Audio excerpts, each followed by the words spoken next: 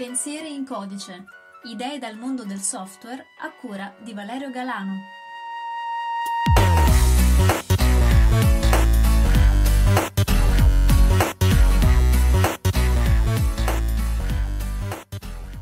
Salve a tutti e ben ritrovati per un nuovo episodio di Pensieri in codice, il podcast in cui parliamo di argomenti presi dal mondo del software, di internet e della programmazione.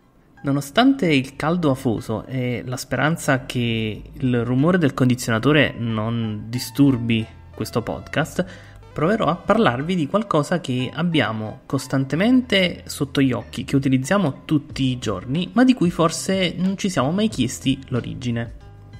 Sto parlando della tastiera QWERTY. Nel caso non lo sapeste, la tastiera QWERTY è semplicemente quella tastiera per computer nella quale i tasti, sia quelli che rappresentano le lettere che quelli che rappresentano i numeri, sono organizzati nella disposizione tipica utilizzata nel nostro paese e anche ampiamente diffusa in tanti paesi anglofoni. Quella particolare disposizione, cioè in cui le prime sei lettere della prima riga, se lette da sinistra verso destra, formano appunto la parola QWERTY. Molti di noi sono ormai abituati ad utilizzarla tutti i giorni sul PC, sullo smartphone, sul tablet e probabilmente, se mai dovessimo trovarci davanti ad una tastiera diversa da quella che conosciamo, troveremmo grandi difficoltà ad utilizzarla.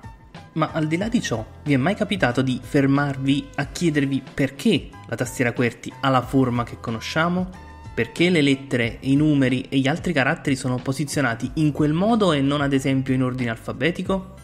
Beh, nonostante la nascita di tale tastiera risalga a poco più di 150 anni fa, non vi sono esplicite testimonianze documentate sul perché sia stata scelta tale disposizione e di conseguenza su questo argomento esistono varie leggende metropolitane che si sono susseguite nel tempo. Tra le più famose e diffuse va sicuramente ricordata la leggenda secondo cui la disposizione dei tasti della tastiera QWERTY sia stata studiata per rallentare la velocità di scrittura dell'operatore. Questo perché, eh, sempre secondo la leggenda, con i tasti in ordine alfabetico gli operatori avrebbero potuto digitare dei testi così velocemente da riuscire a bloccare il meccanismo delle macchine da scrivere, facendo incastrare due o più martelletti. Una seconda leggenda metropolitana, invece, conosciuta almeno quanto la precedente, vuole che i tasti della tastiera QWERTY siano stati così disposti per permettere ai venditori di macchine da scrivere di impressionare i potenziali clienti scrivendo nel modo più rapido e semplice possibile la parola typewriter, che in inglese vuol dire appunto macchina da scrivere.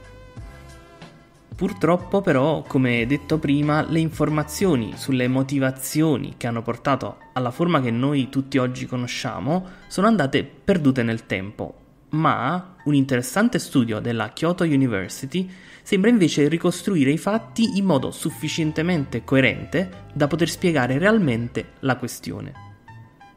Nel 1868 a Milwaukee fece la sua comparsa la prima versione di macchina da scrivere.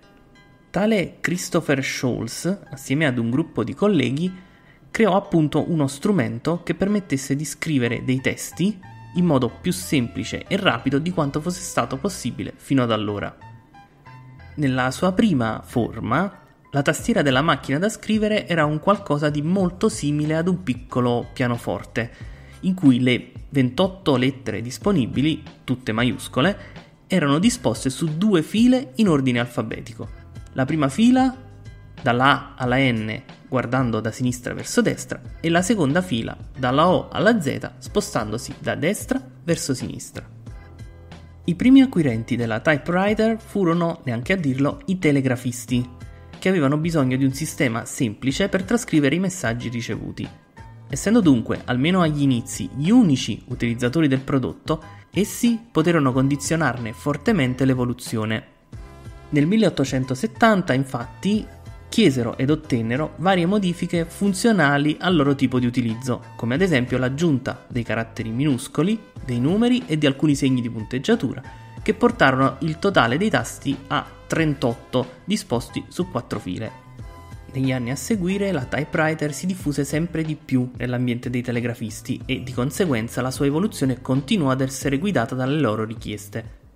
Infatti, secondo Koichi e Matoko Yasuka, gli autori dello studio, le lettere più frequenti, come ad esempio la T, che è la consonante più utilizzata nella lingua inglese, vennero spostate nella parte centrale della tastiera, mentre quelle meno frequenti, come ad esempio la Q, furono spostate ai margini. Allo stesso tempo, a causa del fatto che nel codice Morse, il codice appunto utilizzato dai telegrafisti, la Z si scrive in modo molto simile alla coppia SE, queste tre lettere furono piazzate vicine per dover minimizzare lo spostamento della mano in attesa di capire quale lettera fosse stata trasmessa. Queste e molte altre modifiche furono richieste appunto per velocizzare la scrittura da parte degli operatori e di conseguenza ciò smentisce la leggenda metropolitana di cui abbiamo parlato prima, secondo la quale la disposizione dei tasti fosse stata studiata apposta per rallentare l'operatore. D'altronde, nella trasmissione dei messaggi Morse, l'operatore che riceve il messaggio deve essere veloce nello scriverlo, almeno quanto lo è il mittente, altrimenti rischierebbe, nel caso di messaggi lunghi, di rimanere indietro e perdere delle informazioni.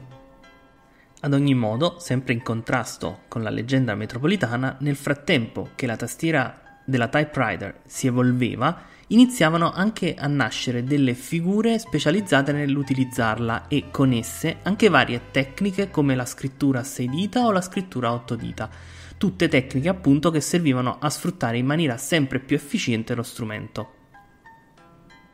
Nel 1878 nasce ad opera della Remington Sons la Remington Typewriter 2, la cui disposizione dei tasti è ormai quasi quella che conosciamo oggi, ad eccezione di poche lettere come la M, la C o la X.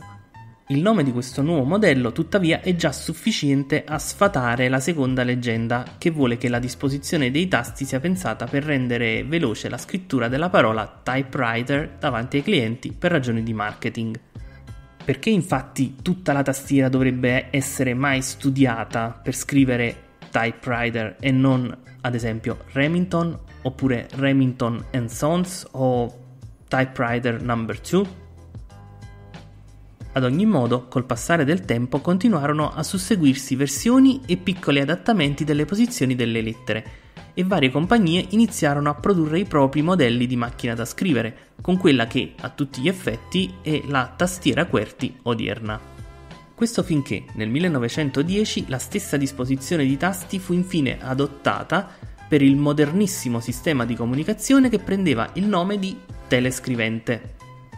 La telescrivente venne poi largamente utilizzata come terminale per computer tra gli anni 40 e 70, portando così, di fatto, la tastiera QWERTY nel mondo dell'informatica moderna. Dal codice Morse per il telegrafo ai nostri computer, passando per la telescrivente, dunque questa ad oggi è con maggior probabilità la storia della tastiera che tutti noi utilizziamo ogni giorno. In descrizione vi lascio il link allo studio della Kyoto University, nel quale potrete trovare, oltre a ulteriori dettagli e un'accurata descrizione delle varie versioni di tastiera e delle motivazioni che hanno portato allo spostamento dei vari caratteri, anche le illustrazioni dei vari modelli susseguitisi nel tempo. Con questo siamo giunti al termine di questo tredicesimo episodio di Pensieri in Codice. Io come al solito vi ringrazio di aver ascoltato fin qui e spero che l'argomento vi sia piaciuto. Vi ricordo che potete ascoltare questo podcast su tutte le maggiori piattaforme e su Alexa, vi basterà dire Alexa apri pensieri in codice. Come al solito vi ricordo che queste sono le mie idee sull'argomento e quindi vi invito a farmi conoscere le vostre con un commento oppure unendovi al gruppo Telegram di cui trovate il link in descrizione. Vi ringrazio ancora per l'ascolto e ci sentiamo ad un prossimo episodio.